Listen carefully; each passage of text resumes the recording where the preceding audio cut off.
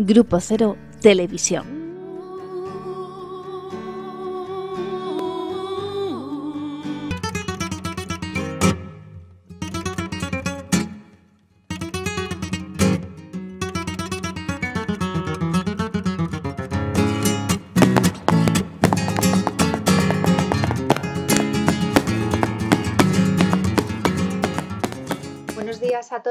Eh, como cada jueves estamos en nuestro programa Tu Salud Cuenta y hoy eh, tenemos a, una invitada a la que yo tengo mucho cariño, además es una grandísima profesional, es Elisa Blázquez. Eh, Elisa es nutricionista, también es, coach nutricional y ahora está trabajando en la clínica ICTRA por si alguno quiere después de, de verla hablar, consultarle, que seguro que, que le va a ayudar mucho con su nutrición para hacer una dieta saludable. Vamos a hablar hoy de... ¿Qué tal, Elisa? ¿Cómo estás? Hola, ¿qué tal? ¿Cómo estás? Muy bien. Encantada de estar aquí contigo. Me alegro un montón de tenerte. Eh, vamos a hablar hoy de, lo que influye, lo que puede influir la dieta en la microbiota. Ahora mismo la, la microbiota es una clave para la salud global.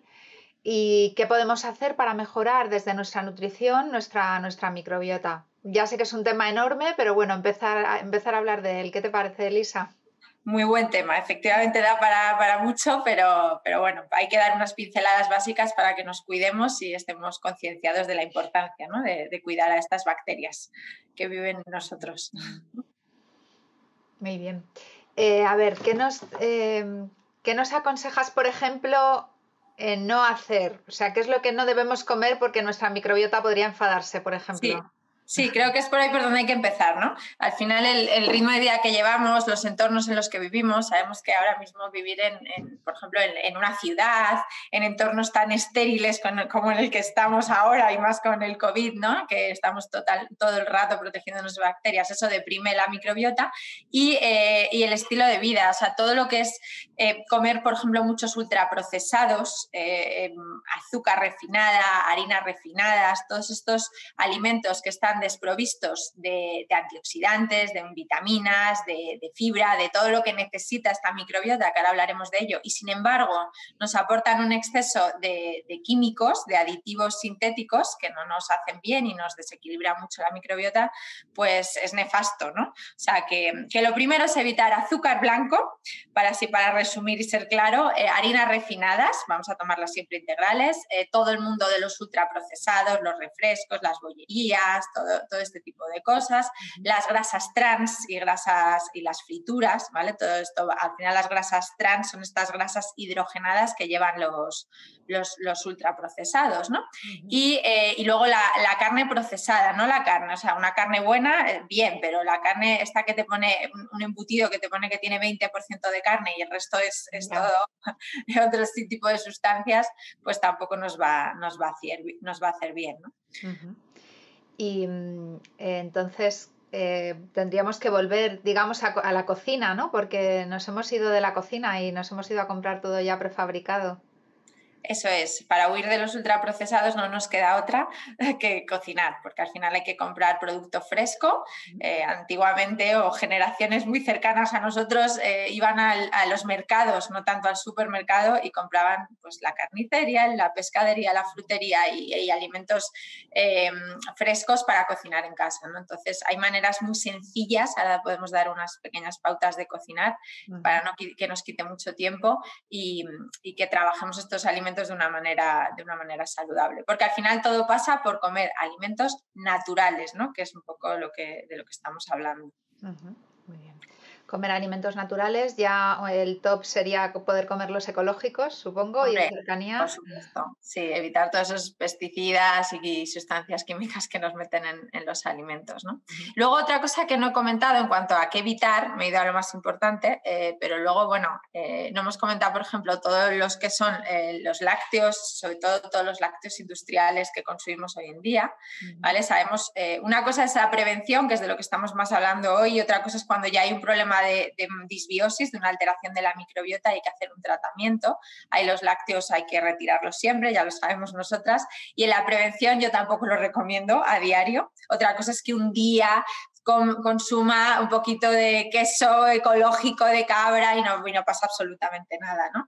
Eh, pero no, la, leche es otro alimento que nos inflama bastante. Y, eh, dentro de las harinas refinadas, pues el, exceso del gluten y sobre todo el trigo son, son cereales que también nos, nos alteran bastante, ¿no? Que ahora mismo me he acordado de que es algo que no he nombrado, en, me he ido solo a los ultraprocesados, pero estos son dos aspectos también importantes. Entonces, evitar eh, todo eso es, inflamatorio, ¿verdad? Tanto las harinas refinadas como los azúcares refinados como, como los lácteos. Eso es, son productos que, nos inflaman, ¿no? Y entonces, bueno, como decíamos, hay que volver a la, cocina y, lo que necesita nuestra microbiota, o sea, el alimento fundamental de nuestras bacterias es, eh, bueno, la fibra, la fibra soluble sobre todo, que es lo que al final va a fermentar y, va a ayudarnos a, producir, por ejemplo, ácidos grasos de cadena corta, que son fundamentales para que, para que nuestro intestino esté sano y va, y va a estar fuerte la microbiota. A veces ocurre que cuando tenemos eh, alteraciones de la microbiota empezamos a tolerar muy mal estas fibras y, empezamos a retirar, voy a dejar de comer fruta, voy a dejar de comer verduras, voy a dejar de comer todo. Entonces, esto al final acaba siendo nefasto. Inicialmente me encuentro mejor porque no hay ese exceso de fermentación, pero como no estoy alimentando a estas bacterias, pues cada vez está más deprimida.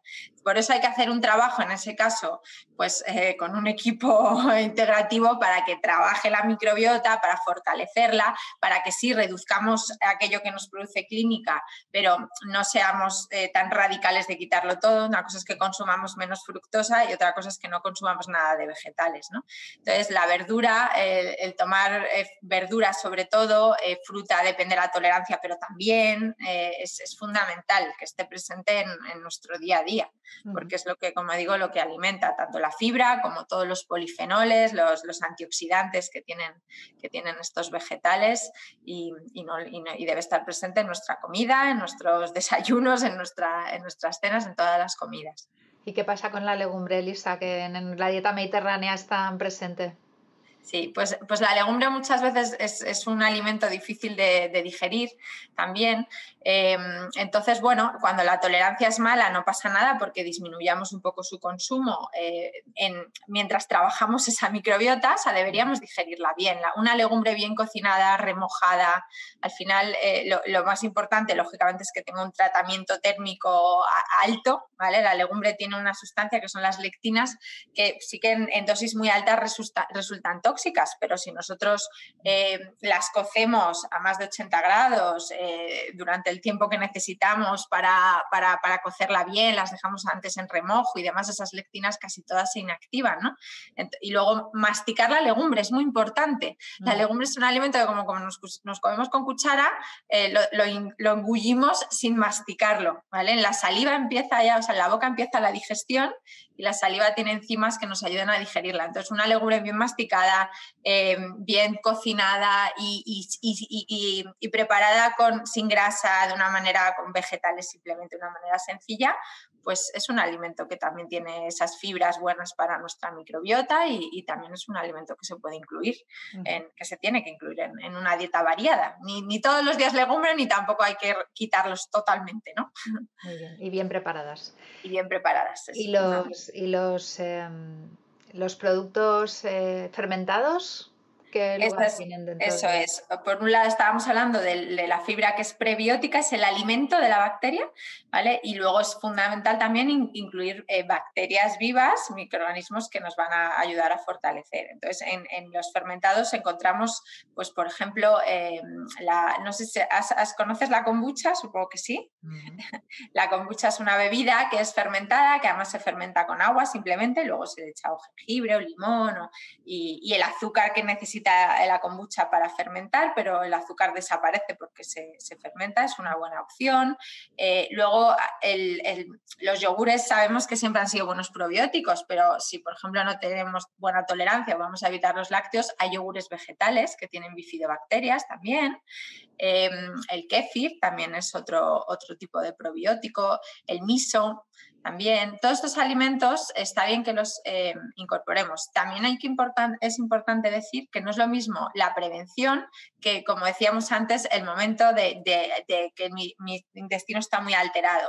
¿vale? Si yo tengo muchísimos problemas digestivos y tengo que hacer un tratamiento de mi microbiota y me pongo como loco a comer mucha kombucha, mucho kefir, muchos fermentos, eso va a alterar más. ¿vale? Entonces es bueno cuando hay una estabilidad, un terreno sano, porque nos va a ayudar a meter más bacterias buenas, eh, pero, pero ya cuando, cuando el intestino está bien, ¿vale? Porque a veces nos podemos, ya digo, hay pacientes que se ponen a tomar mucho kefir, mucha kombucha y de repente si vienen con una disbiosis previa eh, no les sienta bien pero sí que son bacterias que nos van a ayudar a, que el intestino esté sano. ¿no? El miso a mí me encanta, por ejemplo, además tiene es muy depurativo y es un fermento muy bueno eh, que podemos incorporar en, los caldos, en las sopas, en, las legumbres y, nos va a aportar bacterias vivas. Lo que pasa es que cuando hacemos el miso no debemos hervirlo, porque entonces matamos esas bacterias, ¿vale? Entonces tenemos que echar el condimento, comprarlo que no vaya pasteurizado por un lado y y, luego echarlo ya en, el alimento calentito, pero no, no hervirlo, para no matar esas bacterias. Muy bien, así lo haremos. Vale, y, más, eh, además, ah, hemos, hemos, estado hablando de probióticos y de prebióticos. ¿Qué más prebióticos podemos darle? Por ejemplo, este está hablando mucho del almidón resistente ahora para mantener la microbiota en condiciones. ¿Nos puedes contar algo de eso?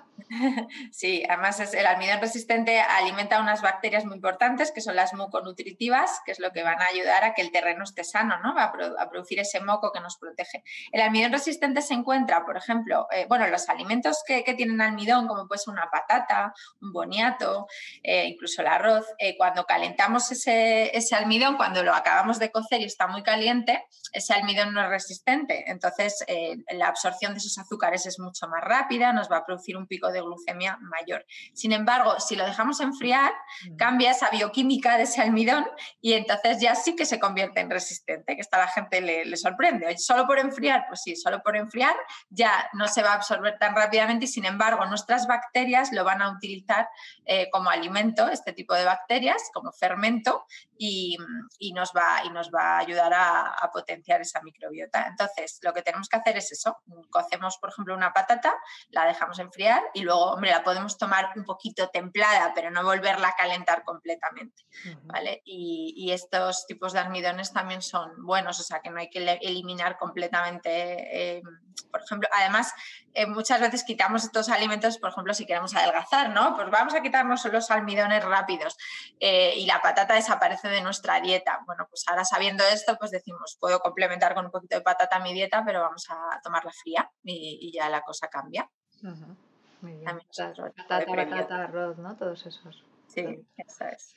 Muy bien, pues eh, hay, habrá más cosas además de, la nutrición que estén influyendo en nuestra microbiota, ¿verdad? El, el hecho de hacer ejercicio o disminuir el estrés, supongo que también son factores que hacen que nuestra microbiota esté saludable. Eso es, todo eso es fundamental, el no descansar bien. durante la noche eh, nuestro, nuestra microbiota se regenera.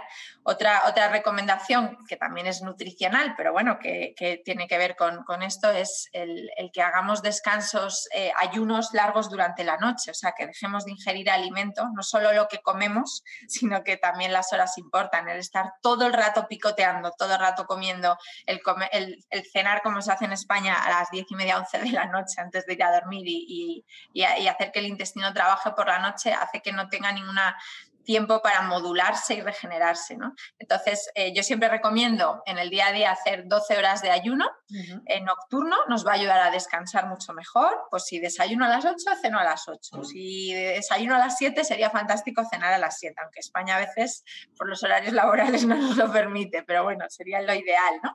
Eh, hacer esas 12 horas y descansamos mejor, regeneramos la microbiota y esto es fundamental. Y incluso meter ayunos más largos de 16 horas.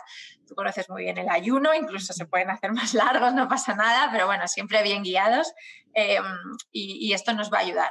El estrés afecta muchísimo, por eso hay que descansar y luego en general pues intentar hacer ejercicio, meditar, yoga, a cada uno le va bien algo para, ayudar a gestionar el estrés y la actividad física también se ha visto que, modula nuestra microbiota, ¿no? sobre todo la, actividad física moderada, y así es muy intensa, eh, sabemos que en deportistas de élite la microbiota a veces está más bien eh, un poco alterada y hay que fortalecerla, mm. pero, pero sí, que, el ejercicio y el sueño y el, estrés es, importante también para, para tratarla bien. Muy bien. ¿Y nos aconsejas algo específicamente para estas épocas donde hay que fortalecer nuestro sistema inmune? ¿Cómo podemos mejorar nuestra microbiota de cara a, a, ser más resistentes a las infecciones, por ejemplo, por COVID o por gripe o ahora en el invierno?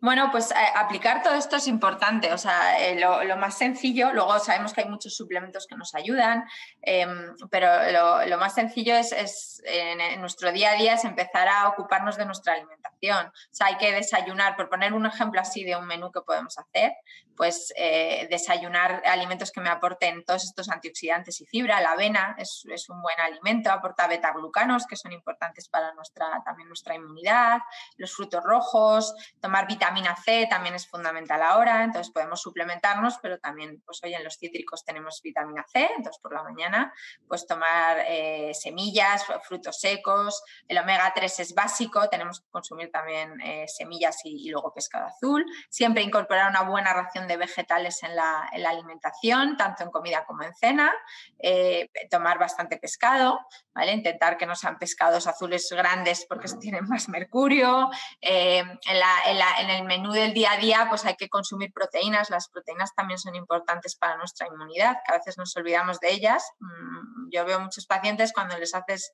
el estudio de lo que comen, de repente, uy, me da mucha pereza la carne o ya no como carne, vale, pues no pasa nada, pero comes huevos, uy, pues tampoco. Es como, no, me he tomado hoy un, plato de judías verdes y ya está. Pues no, no, hay que incorporar ahí el huevo, el pescado, la legumbre, ¿vale? O la quinoa y, y cenas ligeras y hacer los ayunos, ¿vale? Hidratarse bien también es fundamental. Entonces, bueno, si descansamos bien, comemos bien, eh, no tomamos ultraprocesados, no tomamos nada de azúcar, el azúcar ahora mismo es uno de los mayores depresores de nuestro sistema inmunológico, eh, hacemos los ayunos, eh, todo esto nos va a ayudar. Y luego, bueno, pues hay, ciertos complementos, que de eso sabes tú muchísimo, que, también, que también nos ayudan a potenciar la, inmunidad. Sí, ahora la estrella es la vitamina D últimamente, ¿no? Que no se puede estar con niveles bajos de vitamina D frente al COVID, es lo, yo lo que destacaría ahora mismo. Eso es básico. En, la alimentación es menos, mm, o sea, no, absorbemos tanto a través de la alimentación, es un 10% solo, pero bueno, el pescado azul, si la, fuente de vitamina D que máxima es el pescado azul, las setas también tienen algo de vitamina D, y, luego exponernos un poquito al sol, que al final en invierno pues vamos de casa al trabajo, del trabajo al gimnasio y ahora ya ni salimos porque teletrabajamos, entonces tenemos que salir a pasear y exponernos al sol y hacernos analíticas para ver cómo está y si es necesario, pues yo lógicamente creo que siempre hay que suplementar. Muy bien, Elisa, pues un placer hablar contigo. Eh, nos, volveremos a ver seguro por aquí, por el programa. Encantada, ya sabes que, siempre encanta de charlar contigo un ratito. Genial. Muchísimas gracias a ti por invitarme. Muy bien, y a los, a los telespectadores, pues que los, esperamos el próximo jueves. Un, un saludo a todos. Gracias. Saludo, gracias.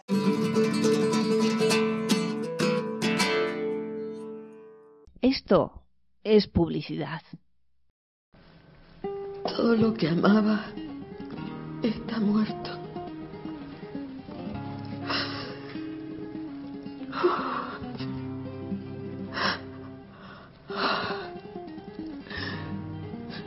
Soy la única que vive de mí.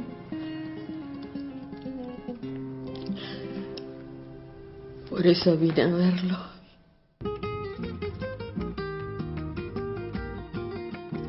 Departamento de Clínica Grupo Cero. Psicoanálisis al servicio de tu salud. Te atendemos en Madrid y también en las consultas online.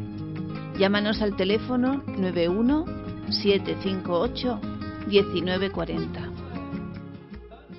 Esto es publicidad.